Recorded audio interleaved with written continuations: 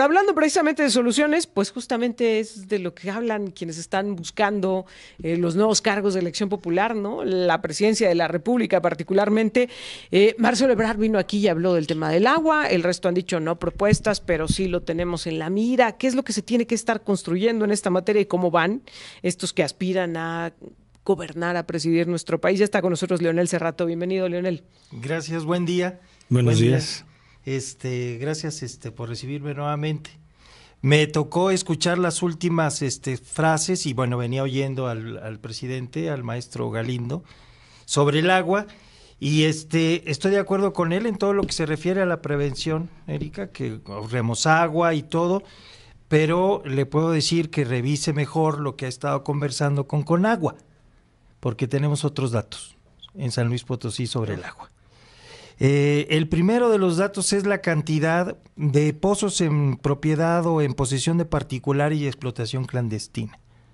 Entonces yo creo que pudiéramos recuperar alrededor de 600 de esas tomas ilegales de nuestro este, manto freático, de nuestro manto acuífero, y dárselo a la ciudad. Yo no creo que San Luis no tenga agua, es más, hay un estudio de Conagua que le dio el delegado Gavino Morales en mano, al maestro Galindo. Entiendo que él piensa así porque pues es, es de, eh, pues de derecha, pero la verdad es de que así como ahora ajusta para que haya tren Maya y para que haya dos bocas y todo eso, estoy totalmente seguro que en el momento en que se ejerza soberanía hídrica, San Luis va a dejar de tener los titulares que tenía en el 74 y que tenía en el día que fuera. Entonces, mejor este, diría yo, y, bueno, yo reconocerle al maestro Galindo que sale a dar la cara, él no es el responsable. El responsable es Interapas. Y creo que yo no, no he visto por ningún lado al director de Interapas dar la cara. Bueno, no sé si sea de aquí porque les encanta traer de afuera. No, este dicen que sí es de no, pues este que era experto. este es experto. Y ya pues ahora parte del organismo. Va a administrar lodos, ¿no? este, pero definitivamente es del Interapas y en el Interapas, Erika, forma parte San Pedro, forma parte Soledad de Graciano Sánchez, forma parte San Luis Potosí Capital. Y las decisiones de soberanía hídrica no le corresponden a Interapas ni a Galindo, ni al municipio. Le corresponden a la Comisión Estatal del Agua, al señor gobernador don Ricardo Gallardo Cardona. Entonces, pues que recoja los pozos, ya, pero la crisis del agua, pues da de qué hablar, ponen entredicho al maestro Galindo y a Interapas que no funciona, que ojalá ya se acabara, pero el tema central de el abasto de agua, había pozos que tú decías, que qué pasaba cuando se nos acabaron los pozos, depende de la CEA, repito, por si no se escuchó, del gobierno del estado de San Luis Potosí. Pero traen ahí este Y no quieren. hasta que reviente, Erika. Eso es lo que, decíamos hace ratito. Pura grilla. Leonel, cuando estaba antes de la temporada de elecciones lo dijimos, ¿están conscientes del tremendo problema que viene del agua? Porque el agua no fue capital político en el pasado, ¿no? No, ahora lo Porque no se veía, porque no estaba grandote, porque... Y lo sabemos.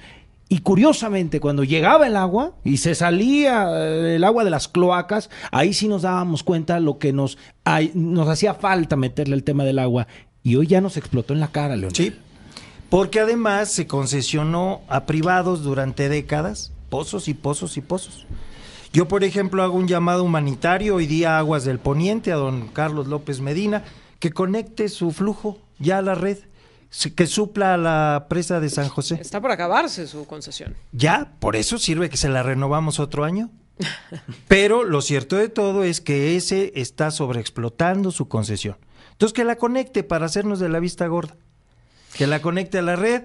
Y yo reitero mi reconocimiento a Galindo de que sale a enfrentar el toro por los cuernos hasta sin capote. Ya no digas que no trae espada. Sin capote. No trae capote, ni sombrero, ni nada porque el verdadero torero y para quien es el encierro es para la Comisión Estatal del Agua. Híjole, pues, esperemos soluciones de fondo. Ese es el asunto. Y el tema de, los corcholatas y precandidatos que han hablado de agua, el único que lo tiene claro es Ebrard.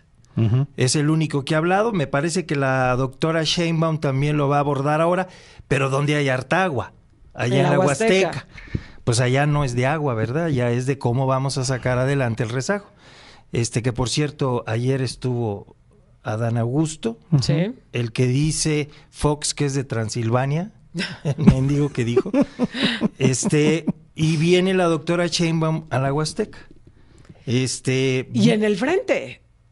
Hoy en la tarde nos van a decir quiénes alcanzaron las firmas. Yo Ya tengo- Santiago Krill, ya Xochil Gálvez están presumiendo, eh, justo esta mañana están presumiendo que se va a cerrar la plataforma y ellos muy contentos porque ya lo Yo lograron. tengo un, un pronóstico, eh, me voy a mojar, ¿eh? Porque definitivamente yo creo que casi nadie piensa que así será. Nada más no salpiques. Sí, exacto. Grill, Ajá. de la Madrid Ajá. y este Beatriz Paredes. Beatriz Paredes. Con todo y guitarra. Con todo y tienda de campaña es la única este, candidata que la trae integrada. Este, casa de campaña, perdón. Este, preciosos vestidos de doña Beatriz. Este, entonces ellos van a hacer. Y también reitero mi vaticinio, Erika, para el, ¿qué? ¿5? ¿6 de agosto? 6 de agosto. Va a ser la señora X. Ya lo tienes por Sí, es que como le prohibieron al presidente decirle a Xochitl Sí. Algo. Pues entonces, señora X, sí, le, le hacemos así, cruz, cruz, ¿verdad? Que venga. Pero yo no sé cómo este decirle ahora, cómo le digamos, ¿verdad? Porque pues si no quiere que la mencionemos por su Pero a nosotros no nos han prohibido, nada más al Y presidente. si nos demandan, ya ves que yo les encanto. Oye, Leonel, pero ¿y luego dónde dejas al señor del banquito? Silvano Aureoles dijo que sí alcanzó. Eh, sí, el PRD, di- eso dijo uno de los chuchos, Zambrano. Ajá. Sería formidable que un prófugo de la justicia estuviera de, de- de- como corcholata de Va por México, ¿cómo se llama? Fuerza por México o la fuerza de todos revueltos con México. Este, bien interesante, porque además, ¿cómo va a ser campaña? ¿No? Hoy en la tarde nos van a decir quiénes se alcanzaron las firmas. Tú ya te aventaste el pronóstico. Quedan cuatro y de esos cuatro queda una que Y va a ser la sí, candidata. admito la corrección de que Aureoles también. Eso, Cinco. Ese es, más, es más, ese es mi candidato, Aureoles, ¿no? Sin banquito. Qué, qué honradez, ¿no? Qué integridad, qué, qué amor le tiene el pueblo michoacano a Silvano Aureoles. Oye, pero es que, a ver, en ese mismo sentido, eh, hace rato revisábamos l- las declaraciones que dieron ayer la gente del frente. Y a ver, eh, eh, Xochitl Gálvez ha puesto sobre la mesa la duda de vamos a verificar las firmas, porque allá hay algo que, que para no meternos en problemas, cuentas claras, ¿no? Algo ha detectado ella y su equipo que dicen hay que verificar cada una de las firmas. Es y que los conoce. Acusa que, que además le están ahí transfiriendo firmas de uno a otro. Yo, yo le diría a la ciudadanía, de veras confiarían en las firmas que entregue Jesús Zambrano o Alejandro Moreno, Alito, confiarían en, en ese... Aquí traigo las firmas. ¿Y Marco Cortés no, no lleva? No, él, él es más sonzón, ¿no? Él- él- él- el trabajo lo hace el equipo de Krill. Pero ya teniendo Krill el millón de firmas que va a presentar, pues ya no hay problema. No, acá a ver que llegue de pronto este Alito Moreno y que diga, aquí traigo las de Enrique de la Madrid, 300. Ahí traigo las de Beatriz Paredes. Voy a decir, oiga, ¿dónde las sacó y tan rápido? La aplicación mutó hace unos días Sí. para permitir que las firmas fueran virtuales, poniendo la clave del lector y subiendo una copia de la credencial. Y so- la señora X, pues ya dijo, creo que estuvo en Mazatlán, en algún lado de estos, diciendo que no confiaba y que iba a pedir que se revisara. Que se revisara una, Una por, una. Pero Ahora, es que también recuerden que, que miren, el, el Bronco falsificó y allá anda en el frente. Eh, la señora este, doña Margarita Zavala Gómez del Campo de Calderón Hinojosa falsificó y allá anda en el frente. Entonces la señora X ya los conoce. Dicen, no, pues yo mejor que cuenten. Ahora sí que firma Firma por por firma, teléfono Registro por teléfono. ¿no? Ahora, eh, eh, Alito Moreno, es que yo de verdad esto es quiero caso. conocer tu opinión. Porque hace rato presentamos eh, en la declaración del día de ayer donde Alejandro Moreno le, le hace un llamado al presidente y le dice, el presidente no tiene por qué intervenir en los procesos electorales. Lo y yo vamos a decía, denunciar. lo vamos a denunciar. ¿Tiene calidad moral el PRI para hacer estos llamados? Y particularmente Alejandro Moreno. El inventor, el, el sistema, el régimen creado por el PRI inventó el tapado. Sí. Y el tema de las corcholatas es una burla al tapado. La anécdota, Es el destape. Exactamente. destape. La anécdota es de una visita de Fidel Castro y una conversación con Leandro Rovirosa en tiempos de López Portillo. Que le dijo Leandro Rovirosa a Fidel que aquí había el tapado, le explicaba. Entonces dice, ¿cómo tapado? Sí, y le explica con una corcholata. Dice, entonces, se destapa y sale toda la efervescencia. Y entonces le dice Fidel a López Portillo, dice, bueno, pues usted es mi corcholata favorita. Mm. ¿Verdad? Eso fue, esa es la anécdota y es la burla a un régimen que oculta cuál es la verdadera intención. Entonces, eh, Alito, pues lo que pasa es de que en el caso concreto del PRI, eh, pues no tienen vergüenza. Imagínate decir que no tiene por qué intervenir el presidente. Sí, Salinas puso a su sucesor.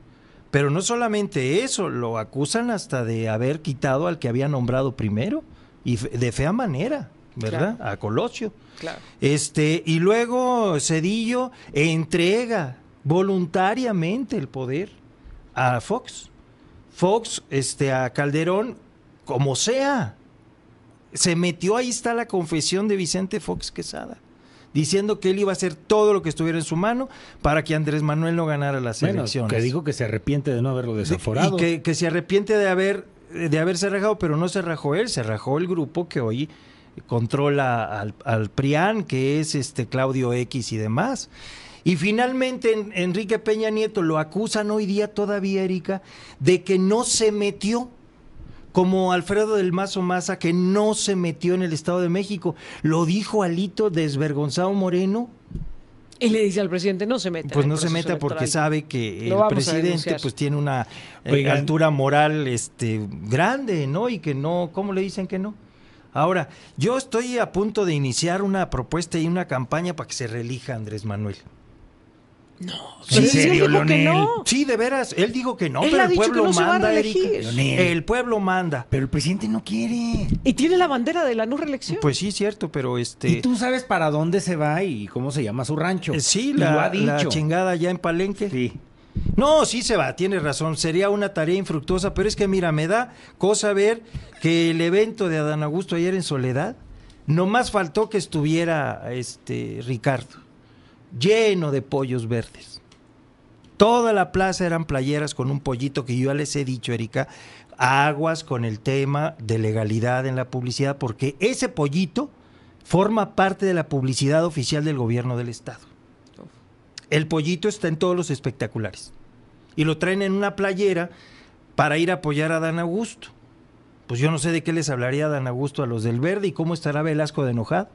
Y yo en Río Verde lo mismito. Y ahora va acá la doctora Sheinbaum, va a Valles. ¿Y esperas ver lo mismo? Eh, No, espero ver algo tantito peor, que son todos los tránsfugas del PRI, que se juntaron una cosa que ellos llaman suma para apoyar a la doctora ya en Valles. Y la doctora llega de verdad este, y piensa que eso es este pueblo libre y no, es incluso hasta acarreados de, de- de- de la vieja escuela. Y, y cuando se lo decimos se queda sorprendidísima. Pues bueno, recuérdense ustedes que Echeverría pensó que México siempre tenía carteles de él. Porque sí, y que cuando sale de presidente escribe y dice, y, y veo vacío a México. Es que no veía los carteles que llevaban los acarreados. Claro. Bueno, pues acá pasa lo mismo, a mí me está apenando mucho la conducta, ya, ya me apenaba por el tema de los espectaculares, Erika, Jonathan. ¿De dónde los paga el, eh, mi querido colega notario Adán Augusto? Y ahora que vaya con los gobernadores, aquí llega con Ricardo y Ricardo entiendo que le tiene estima y lo apoyan. Entonces, ¿y el piso parejo? Ojo, Mario Delgado dijo, aguas con eso, porque nos pueden bajar Pues candidaturas sí. y lo dijo. Ah, No ayudan y, tanto. y yo ¿eh? insisto, la playera del pollito, que además es un logo magnífico, muy, muy identificable, está en todos los espectaculares que el gobierno de Ricardo Gallardo tiene por todo el estado. En la OA está el pollito.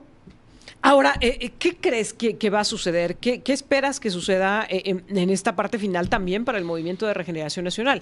A ver, particularmente Claudia Sheinbaum en la Huasteca Potosina, eh, porque lo hemos referido Le mucho muy y bien, es vas a ver. emblemático. Esa recepción que le dieron a Andrés Manuel López Obrador, candidato en la Huasteca, es Es inolvidable. única, histórica. Se va a repetir para Claudia Sheinbaum, pero además va a ser auténtica o va a ser cali- en movilización. calidad de corcholata no se va a repetir.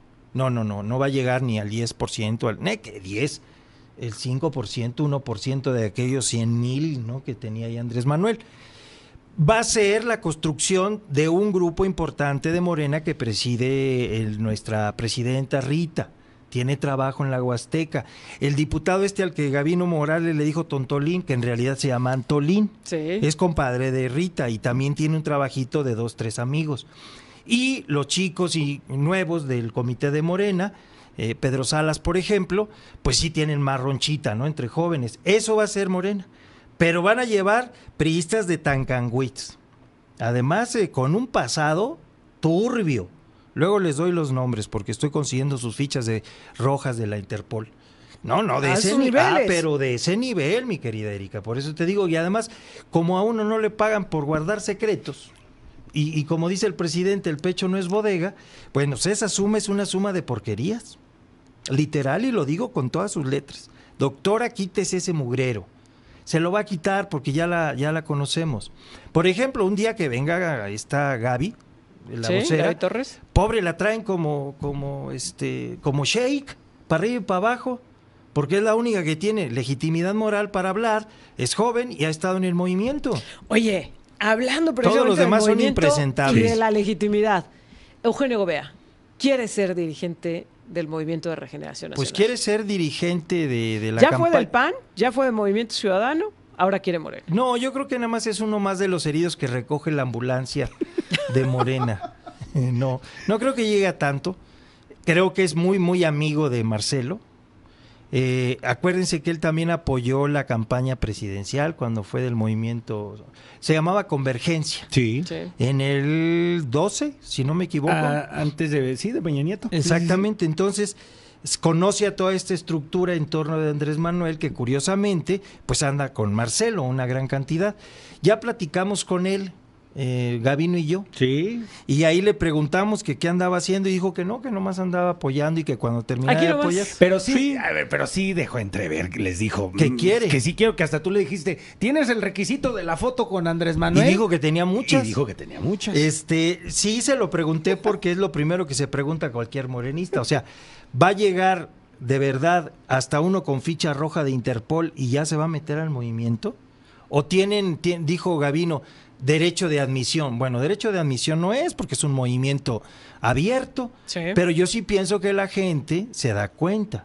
No es tonta. Claro. La gente no es tonta y dice, bueno, este ya nomás le falta un este un partido para conquistarlos todos como Porfirio Muñoz Ledo, ¿no? Eh, yo no creo que eh, Gobea, eh, eh, este Eugenio aspire a dirigir Morena tanto como a ser candidato a algo. Eso sí lo creo. Que tenga deseos de que su amigo Marcelo, eh, la estructura de torno de él, pues lo proponga para un cargo de esos que no hacen campaña, los pluris. De Pero se va a encontrar con una fila bien larga de pluris y las carotas de miles de personas que pues que sienten ¿Están que no tienen derecho estas personas de llegar, pero yo digo que bienvenido mientras este trabaje, pero si nomás andan figurando, da- les digo yo danzantes, andan Ujú. danzándole enfrente a la a los candidatos como en el viejo PRI, literal. Pues eso sí este van a batallar más. Yo creo que hace más daño una organización este mugrera como esta que te digo que se llama Suma. Este al propio Eugenio Gobea con todo lo que traiga. ¿Por qué? Porque ya no trae nada. O sea, nomás es Eugenio. Leonel, como siempre, muchas gracias por estar con Pues, nosotros. este- Seguimos platicando la próxima semana porque Sí. siempre nos quedamos con ganas. A ver si no me encuentras para la semana que entra ya ruso. ¿Por qué? ¿Por qué? Pues por Ah, los con libros los libros. comunistas, ¿verdad? De veras, que qué cosa, qué cosa. Ya voy a ver, voy a ser Leonelovich. Venga. Te ¿verdad? esperamos el, el con loro, el loro de Rusia, me voy a traer un loro de Rusia. No, de veras, que seamos Acá te esperamos Gracias, la próxima semana. Leonel. Claro. Gracias.